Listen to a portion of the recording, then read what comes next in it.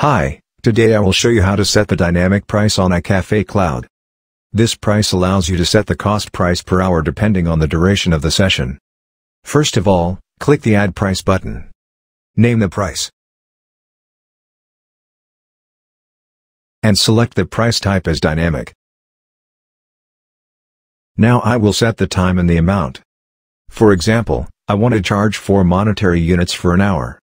If the duration is from 0 to 60 minutes, the amount is 4 and charges 4 per hour. If the duration is from 60 to 120 minutes, amount is 6 and charges 3 per hour and so on.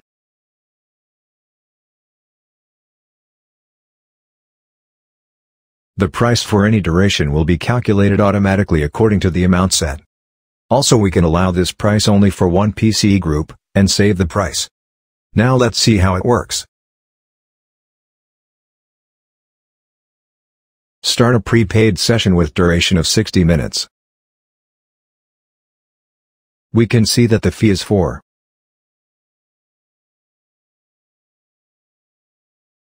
If the duration is 120 minutes, the charge is 6. You can clearly see that the price is dynamic and changes according to the time.